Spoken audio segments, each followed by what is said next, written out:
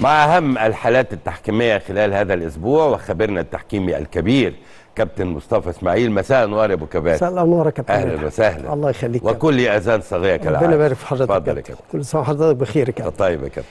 آه بسم الله الرحمن الرحيم. آه بداية نحب إن آه، يعني نوجه آه تعازينا الحارة للكابتن ياسر عبد الرؤوف في وفاة والده آه الحكم الدولي الكابتن عبد الرؤوف عبد العزيز آه الذي توفى أمس. تغمده الله وأسع رحمته وأسكنه فسيح جنتي. رحمة الله عليه ألف رحمة ونور عليه يا كابتن. لأن الراجل ده ليه فضل يا كابتن على كل حكام مصر بدون استثناء. أكيد. رحمة الله عليه يا كابتن.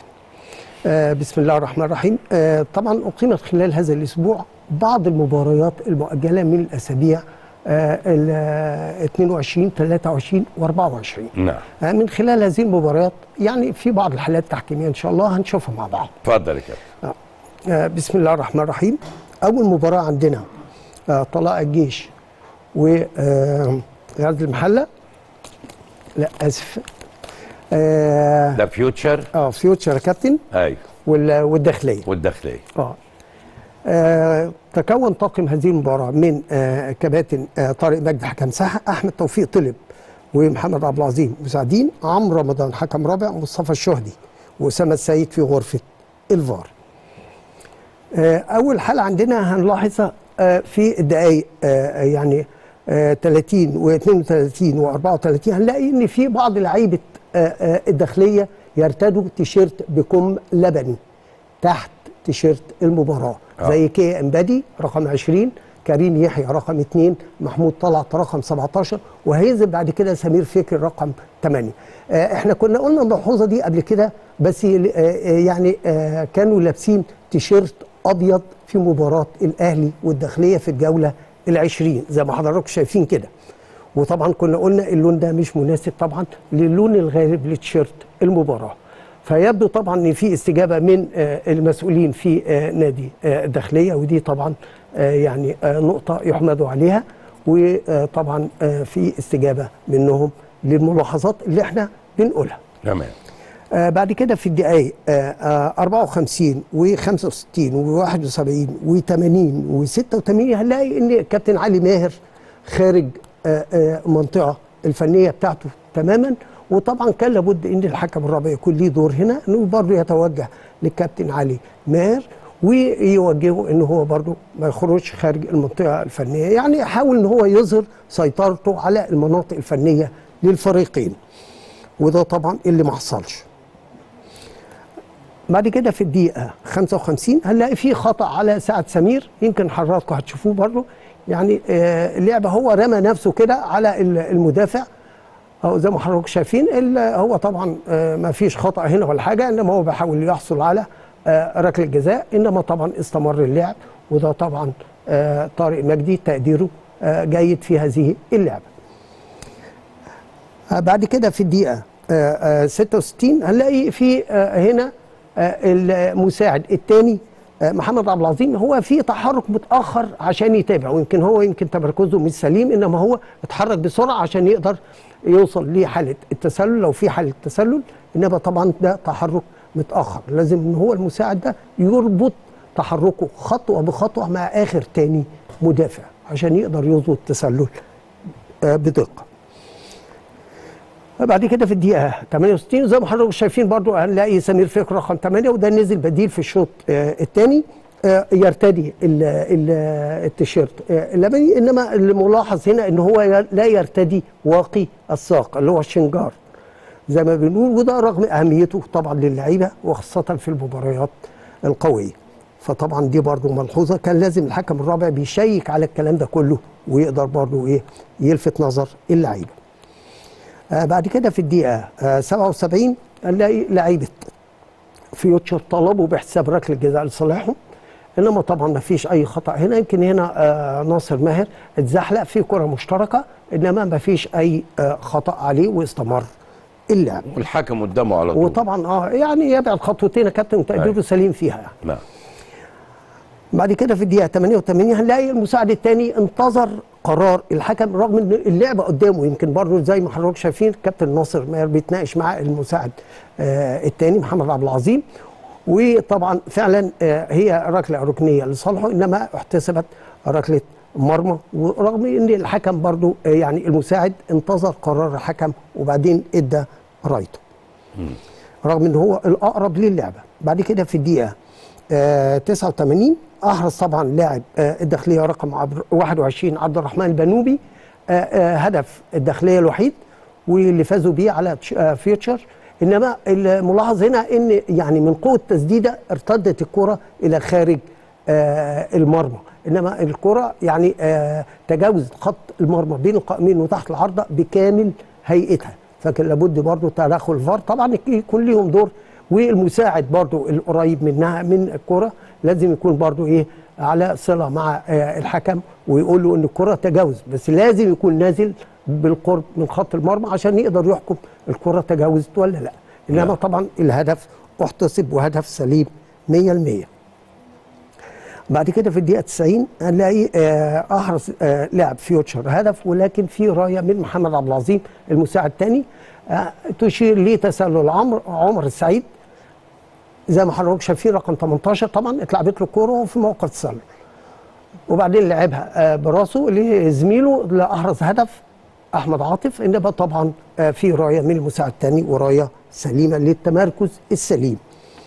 آه، بعد كده في الدقيقة 92 هنلاقي في لقطة كده يعني فيها حرفنة شوية من لاعب ال- ال- الداخلية جوهاني يعني بيوقفها بطريقة نيمار يعني فيها حرفنة زيادة إنما طبعا لقطة يعني برضو إيه ما بتتكررش كتير. انتهت نتيجة هذه المباراة 1-0 لصالح الداخلية. المباراة اللي عندنا بعد كده مباراة المصري والبنك الأهلي. وقاد هذه المباراة تحكيميا طاقم حكام مكون من أمين عمر حكم ساحة أحمد حسام وكريم السعيد مساعدين محمود منصور حكم رابع محمد عباس قبيل وهاني خيري في غرفة الفار. أول حالة عندنا هنلاقيها في الدقيقة 10 طبعا نلاقي يعني ترقيصة حلوة كده من آه، إلياس الجلاصي آه، لاعب آه، المصري. إنما طبعا خد خطأ لأن طبعا محمود محمد هلال أو محمود السيد هو طبعا اللي هو خد اتعمل له الكوبري دوت يعني فعمل معاه خطأ واحتسب هذا الخطأ. بعد كده في الدقيقة 11 هنلاقي الحكم بيطلب من حارس المصري هو طبعا الخطأ أو التسلل كان بالقرب من خط المرمى. هناك خالص يعني قريب من راية الركن. ورغم ذلك الحكم يعني برضو الراجل هنا يمكن آه، بابا فاسيليو بيحتاج على آه، آه، لعب الكرة من المكان ده رغم إن هو يعني الحارس المرمى عصام ثروت مقدمة حوالي مش أقل من 25 ياردة. فطبعا الحكم استجاب ورجع الكرة لمكان احتساب. الخطأ. وفعلا لعبها حارس المرمى مكانها بعد كده في الدقيقة 19 هنلاقي في آه، يعني آه، ركبة وخشونة من عمرو موسى لاعب آه، المصري. في ظهر أحمد ياسر لاعب يعني ملهاش أي لازمة. هنا الحكم زي ما هو زي ما حضراتكم شايفين في شد وجذب من اللعيبة. إنما طبعا الركبة ديت برضو كان ممكن تسبب إصابة. الحكم هنا طبعا اللعب كان متوقف ساعتها عشان آه، رمي تماس آه، الحكم هنا ما خدش إجراء يعني كان المفروض يعني لو اللعب آه، آه، شغال هيدي إنذار. لو اللعب متوقف كان طبعا لو خد إجراء انضباطي يعني إنذار أو طرد كان طبعا لازم يطرده لأن طبعا دي ضرب بدون كورة. إنما اكتفى بالتحذير. بعد كده في الدقيقة آه، 24 قال في ركله جزاء لصالح البنك الأهلي لم تحتسب. هي كان لابد هنا من تدخل حكام الفار لأن طبعا في عرقلة هنا من حارس المرمى عصام ثروت لكريم بامبو زي ما حضراتكم هتشوفوا كده برجله الشمال وطبعا أعاقه وعرقله فلم يتمكن زي ما حضراتكم شايفين لم يتمكن من لعب الكرة بطريقة سليمة أو بأريحية طب دور الفار فين يا كابتن ما هي يا؟ كابتن هو كان لازم الفار يتدخل هنا ويلفت نظر الحكم والحكم يروح يشيك على اللقطة ديت من أكتر من زاوية زي ما حضراتكم شايفين كده إنما فعلا في آه، إعاقة وعرقلة لكريم بامبو ولم يتمكن من لعب الكرة بأريحية. هو هنا طبعا انتظر إن الفار يستدعيه إنما لم يتم استدعائه من قبل حكام الفار وكانوا محمد عباس قبيل وهاني خيري ده طبعا آه، تقديرهم. بعد كده في الدقيقة آه، 39 نلاقي في فرصة آه برضو سهلة جدا لكريم بامبو لإحراز هدف للبنك الأهلي إنما برضو أهدرها يعني برعونه هي الكرة هنا ما فيهاش أي تسلل إنما هو خدها بحرفنة وطبعا لم يتمكن إن هو يضع الكرة آه في المرمى وأهدرها. بعد كده في الدقيقة 45 آه هنلاقي الحكم أعاد آه لاعب البنك الأهلي عشان يلعب رمي التماس من مكانها. أو يمكن برضو الحكم الرابع هنا يمكن بيشير لي الوقت بدل الضائع إنما الحكم هيرجع لاعب البنك الأهلي لمكان خروج الكرة لأنها طبعا متقدم كتير جدا. يمكن من قبل خط المنتصف. وده تصرف سليم من الحكم. بعد كده في الدقيقة 52 هنلاقي في لمسة يد على محمد بسيوني الباكرايت بتاع آه البنك الأهلي. إنما طبعا لم يحتسب هذا الخطأ واحتسبت رمي التماس لصالح آه المصري.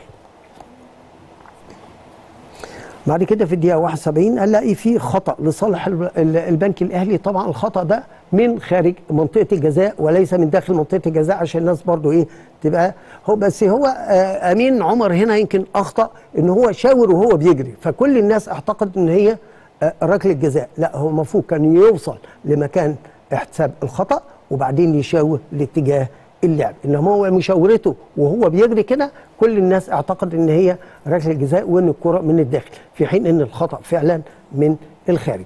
طبعا ده عمرو موسى اللي هو الكابتن المصري آه هو اللي ارتكب هذا الخطأ.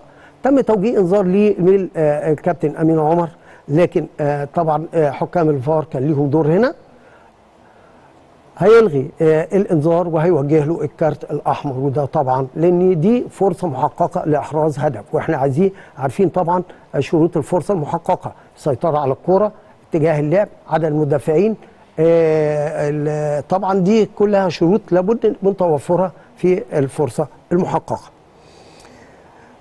بعد كده في الدقيقة 80 هنلاقي طبعا تحذير من الحكم لحارس المصري إن طبعا فريق المصري في الوقت دوت بيلعب ب 10 لاعبين بعد طرد عمرو موسى في الدقيقة 70 طبعا يعني برضه حارس المرمى ثروت بيحاول إن هو برضه يتمادى في إضاعة الوقت.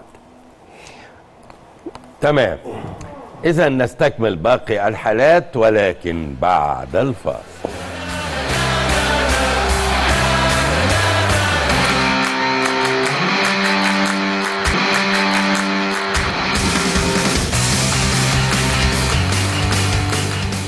نستكمل باقي الحالات التحكيمية مع خبيرنا التحكيمي الكبير الكابتن مصطفى إسماعيل. اتفضل يا كابتن. أشكرك كابتن. آه بسم الله الرحمن الرحيم. المباراة اللي عندنا بعد كده طلائع الجيش وغزل المحلة ودي أقيمت أمس طبعا. آه وتكون طاقم هذه المباراة من آه الكباتن. أحمد الغندور حكم ساحة سامي هلهل محمود حسين مساعدين محمود دسوقي حكم رابع مصطفى مدحت ومصطفى عطية في غرفة الفار. أول حاله عندنا في الدقيقة 40 40 هنلاقي في خطأ لصالح المحله لم يحتسب الخطأ دوت. وطبعا سقوط لاعب الجيش أحمد زور رغم إن هو اللي مرتكب الخطأ ان هو لما حس إن هو ممكن ياخد فيها إنذار يعني اصطنع الإصابة وسقط. زي ما حضراتكم هتشوفوا كده هو رغم إن هو اللي عمل الخطأ وأحمد الشيخ ما عملش أي حاجة معاه. آه الخطأ اللي بعد كده في الحالة اللي عندنا بعد كده في دقيقة 51 هنلاقي في ركلة مرمى لصالح المحلة احتسبها الحكم القريب من اللعبة آه ركلة ركنية يعني هنشوف بازوكا حضن عليها وساب آه الكرة هو ما لمسهاش. وطلع طبعا من كريم مصطفى آه كريم طارق آه آه ركلة آه المفروض إن هي ركلة مرمى إنما الحكم آه احتسبها ركلة ركنية لصالح الجيش. بعد كده في الدقيقة 63 هنلاقي إيه؟ تباطؤ غريب طبعا. النتيجة 1-0 طلع الجيش إنما هنلاقي فيه تباطؤ من لعيبة الجيش في أداء رمي التماس دي وأحمد شيخ بيجيب لهم الكورة وطبعا ما فيش حد عايز يلعب رمي التماس. ويمكن برضو الراجل اللي بيكاتشن على غزل المحلة برضو بيشاور لي سامي هلهل المساعد. بعد كده في الدقيقة 76 هنلاقي في إنذار مستحق لمحمود وادي. هو طبعا احتسب له خطأ هنا إنما زي ما حضراتكم شايفين كده خد الكورة وشتتها وبعدها عن مكان احتساب الخطأ. كل ده طعمه طبعا إضاعة الوقت وتعطيل اللعب. هو خد فيها إنذار طبعا ده إنذار مستحق. الحل عندنا بعد كده في الدقيقة 82 هنلاقي هو في خطأ هنا ارتكبه لاعب المحل رقم 42 آه، وطبعا آه، آه، نال عليه إنذار. زي ما حضراتكم شايفين كده إن طبعا في آه، المرفق كده في وجه محمد سمير لاعب الجيش رقم 31 آه، طبعا هيتم آه، احتساب الخطأ وتوجيه الإنذار والكارت الأصفر. إنما اللي يعني اللي نحب نلفت النظر ليه إن اللاعب آه، طبعا خرج رغم إن اللاعب القسم حصل على إنذار. في الحالة دي اللاعب المصاب ما بيخرجش. إنما نفاجئ إن هو آه، خرج ولف آه، من ورا راية الركن. إنما طبعا أحد آه، أفراد الجهاز الطبي لنادي الجيش لفت نظره فنزل على طول بعد ما خرج آه، للعلاج. بعد كده في الدقيقة آه، 88 نلاقي في فرصة سهلة جدا أهدرها طبعا محمود وادي مهاجم الجيش لإحراز الهدف الثاني زي ما حضراتكم شايفين كده طبعا فرصة لا تضيع. بعد كده في الدقيقة 90 هنلاقي الحكم الرابع أشار بأربع دقايق وقت بدل ضايع، الأربع دقايق دي وقت قليل جدا لأن طبعا آه تمادى آه لاعبي آه طلائع الجيش في آه تعمد إضاعة الوقت وتعمد تعطيل للعب فطبعا الأربع دقايق دي كان وقت قليل جدا للوقت فعلا اللي ضاع خلال الشوط الثاني.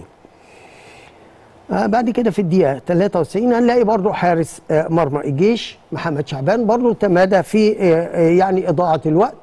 وطبعا يمكن الحكم توجه له هو ما حسبش خطأ إنما هو أوقف ال- اللعب وتوجه ليه وطبعا استأنف اللعب بإسقاط لأن طبعا ما فيش خطأ. صحيح. بمناسبة غزل المحلة أقالوا المدير الفني النهاردة بتاع غزل المحلة آه. عبد الباقي جمال؟ آه عشان النتائج وكده. لا حول الله. اتفضل يا كابتن. عندك حاجة إحصائيات أو حاجة؟ آه في إحصائية يا كابتن طبعا عن الأسبوع ال 26 آه. آه، آه، طبعا أدار المباريات التسعة آه، خلال ال- التسع ال- الجولة 26 آه، 54 حكم تقرر منهم 54 حكم. آه، زي ما حضراتكم هتشوفوا كده آه، حكمين اتكرروا مرتين. خمس حكام اتكرروا ثلاث مرات. حكم واحد اتكرر أربع مرات. حكمين اتكرروا خمس مرات. خمس حكام تكرروا ست مرات. حكم واحد تكرر سبع مرات. خمس حكام تكرروا تسع مرات. أربع حكام تكرروا عشر مرات. ثلاث حكام تكرروا 11 مرة. حكمين تكرروا 13 مرة. أربع حكام تكرروا 14 مرة. خمس حكام تكرروا 15 مرة. خمس حكام تكرروا 16 مرة. ثمان حكام تكرروا 17 مرة. حكم واحد تكرر 18 مرة. آه، حكم واحد تكرر 19 مرة. طبعا برضو نحب نلفت النظر دي مش آه، آه، مش في الملعب. يعني مشاركة سواء حكم أو مساعد أو فار أو حكم رابع أو إيه فار. تمام. آه، عندنا آه، يعني ملاحظات كده على الجولات الأخيرة في تعيينات الحكام. هنقولها بسرعة برضه يا كابتن. اتفضل. آه، عندنا هشام الدسوقي ده آه، اتعين في الجولة 24 آه، مساعد وفي آه، آه، الجولة 24 آه، إيفر وفي الجولة 25 مساعد وفي الجولة 26 برضو اتعين. محمود دسوقي اتعين رابع في الجولة 24 وفار في الجولة 25 ورابع في مؤجلات الجولة 24 آه، شريف عبد الله آه، اتعين مساعد في الجوله 24 وإيفار في الجوله 25 ومساعد في الجوله 26 آه، محمد محمود لطفي مساعد في الجوله 24 وايفار في الجوله 25 خالد الغندور تعين فار في الجوله 24 وفار في الجوله 25 اسامه عبد اللطيف آه، مساعد في الجوله 24 AVAR في الجوله 25 AVAR في الجوله آه، 26 احمد لطفي مساعد في الجولة 24 AVAR في الجولة 25 حمادة القلاوي آه، حكم في الجولة 24 وحكم في الجولة 25 طارق مجدي. آه، حكم في الجولة 25 حكم في الجولة 26 حكم في مؤجلات الجولة 22 أسامة السيد آه، إيفار في الجوله 24 مساعد في الجوله 26 إيفار في مؤجلات الجولة 22 حسني السلطان حكم رابع في الجوله 24 وحكم رابع في الجوله 26 آه، نادر أمر الدولة حكم في الجوله 24 وحكم في الجوله 25 احمد ناصر عباس رابع في الجوله 25 ورابع في الجوله 26 محمود بسيوني حكم في الجوله 24 وحكم في الجوله 26 سامح حسين رابع في الجولة 25 ورابع في الجولة 26 سيد شعبان AVAR في الجولة 25 AVAR في الجولة 26 آه مصطفى مدحت آه، فار في الجوله 25 فار في الجوله 26 فار في مؤجلات الجولة 24 عمر فتحي مساعد في الجوله 25 و AVAR في الجوله 26 محمد عباس قبيل فار في الجوله 25 وفار في الجوله 26 هنا بس نحب نلفت النظر حضرتك ليه آه. تكرار الحكام دي؟ يعني في جولات متتالية آه حضرتك عايز تبرز إنه آه. في حكام بتتكرر 24 وده أمر ما و25 يجب أن و26 آه يكون طبعا يا كابتن يعني. وطبعا رئيس اللجنة الراجل البرتقال ده ما يعرفش حاجة عن الحاجات ده طبعا هو يعني المجموعة اللي موجودة آه، هي طبعاً. اللي بتقود. التعيينات وطبعا هم اللي بي صحيح، ده مهم بيوروا. له الصورة كاملة يعني صحيح صحيح آه. بشكرك يا كابتن مصطفى. شكرا جزيلا أشكرك غدا بمشيئة رحمن الخميس عندنا الدوار عندنا الحصاد عندنا مسابقتنا الثقافية السياحية الفنية إن شاء الله أشكركم والسلام عليكم ورحمة الله وبركاته.